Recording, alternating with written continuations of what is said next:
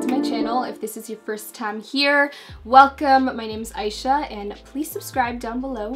Hit that little red button, support your girl.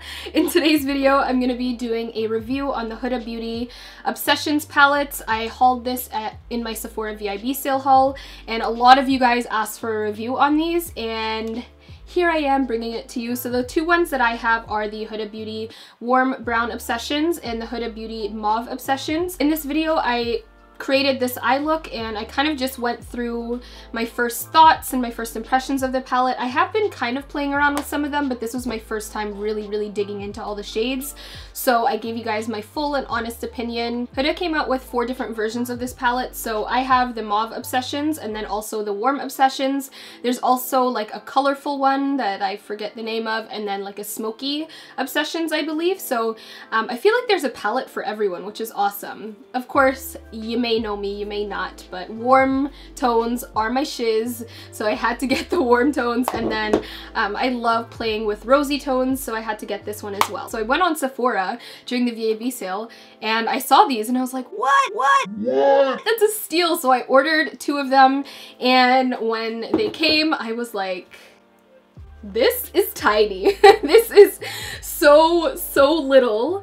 However, I will give my thoughts towards the end of this video on whether I think it's worth it because, I mean, you can't really judge a book by its cover or by how small it is. You know, big things come in small packages sometimes. So I hope you guys enjoy this video and hopefully decide whether this is something you want to invest in.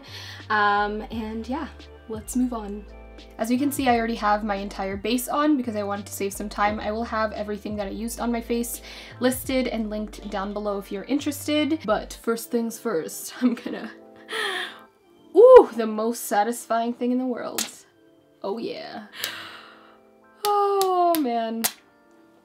Editing Aysha's gonna really appreciate that, but wow, this mirror is actually like really, really clear, so I'm very happy with that. Sometimes when you get little palettes like this, um, the quality of the mirror isn't really that amazing. I have some like oil right above my brow. But I am gonna go in with this one first because it has some good warm transition shades. I'm gonna go into this shade over here. And I'm just taking this on a Morphe M505, which is my favorite blending brush ever. I really appreciate how the transition shades in these palettes actually run deep enough for my dark skin.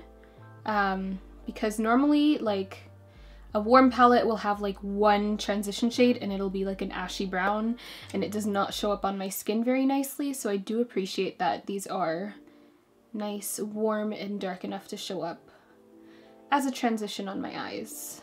Next, I think I'm going to go into this shade over here, which is kind of like a deeper, more terracotta brown, and I'm just taking that on the same brush. Wow, that is super pigmented like right away and I did tap off these these um shadows so I kind of like dip it in like this and then tap off any excess like that. And still packs a punch with the pigment. Packs a punch with the pigment. Wow these are blending like so easily I'm like barely putting any pressure on this brush and this just like blended out seamlessly. I get very nervous with very pigmented shadows because sometimes when you place them down, it's really hard to blend them out of that area. But this, I'm not having any problems whatsoever. And I'm just kind of placing this on the same area that I did with the other transition, but slightly lower. So I don't want to bring it as high as I did the other color. Now in the Mauve Obsessions palette, I'm to be taking, I think this shade over here. I'm to take that on a slightly more tighter and denser brush. And this color doesn't really have much fallout at all. Like I'm kind of dipping my brush in there. These shadows are really good. Like they don't have a lot of fallout and it can be hard to formulate a good matte shadow with this much pigment. So I'm very impressed. So I'm just focusing this shade just on the outer corner but almost like in the outer third. So like from here down. And then going back into this brush with no additional product I mean, I'm just kind of blending that out slightly. So now I'm going to start building up the deeper shades. So I'm going to take this one over here, almost like a deep purple cranberry.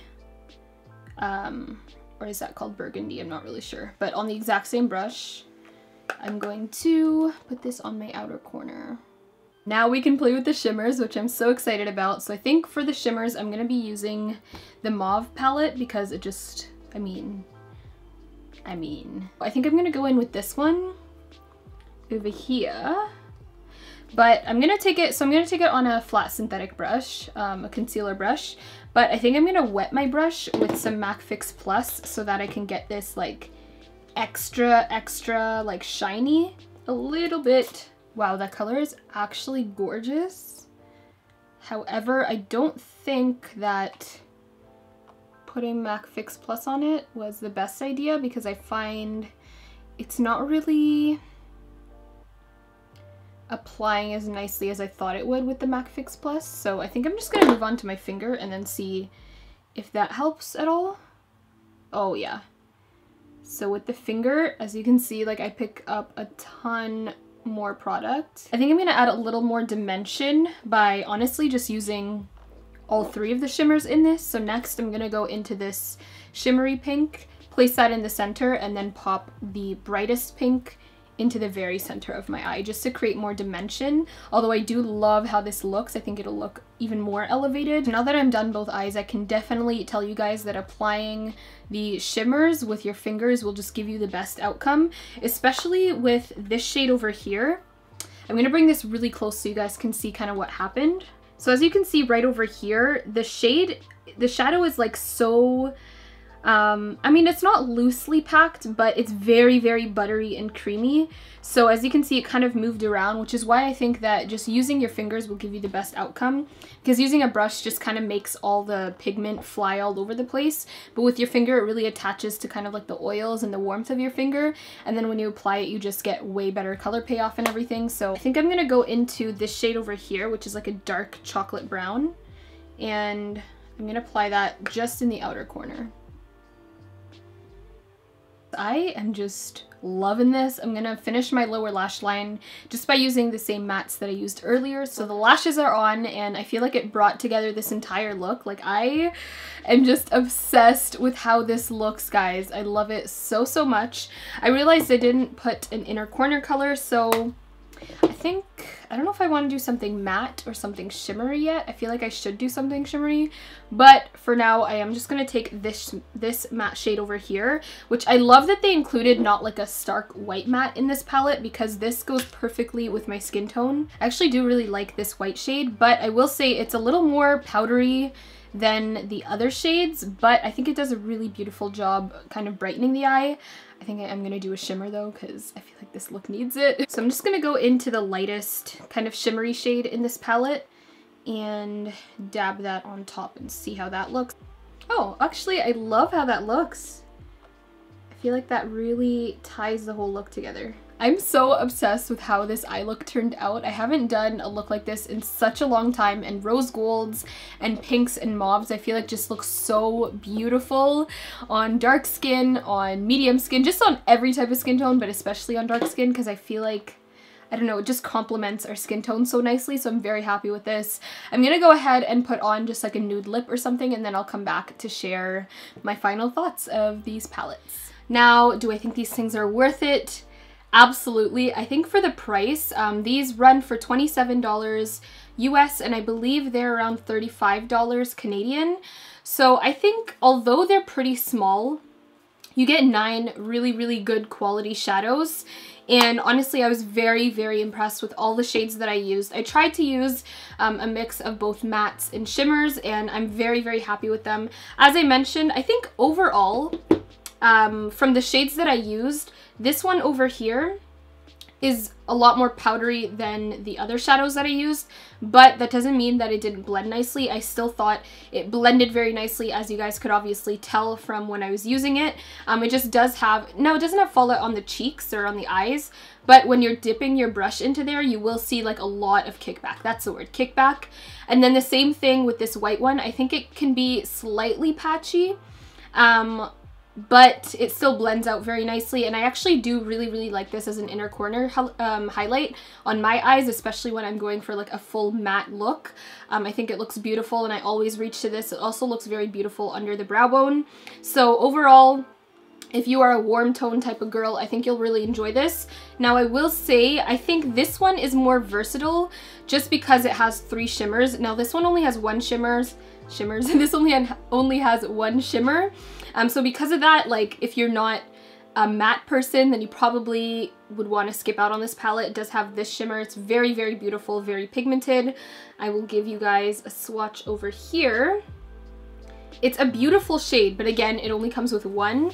Um, me personally, I always wear mattes like over shimmers any day. I do wish that this had like a shimmery champagne instead of like a shimmery deep bronze gold because then it could be a little more versatile for the inner corner, etc.